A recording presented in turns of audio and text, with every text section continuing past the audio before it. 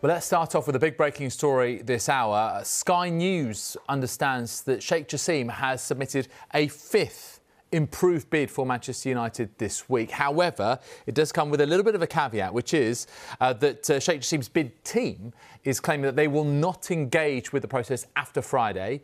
Uh, and this latest offer follows what was called a final offer in late April. Obviously, it hasn't proved to be the case. So this is a fifth improved bid for Manchester United uh, from Sheikh Jassim, uh, and and it remains to be for total control of the club. It's thought to include a significant further sum for investment on uh, infrastructure, also on recruitment, and no preferred bidder has yet been chosen since uh, the original deadline of April the 28th was set for those final bids. And of course, the other bid, the rival bid uh, from Sir Jim Ratcliffe and Ineos, uh, the petrochemical company, had been thought to be edging ahead in the process. Well, let's see if this latest high stakes move from Sheikh Jassim is enough to persuade the Glazers to part company uh, with the club.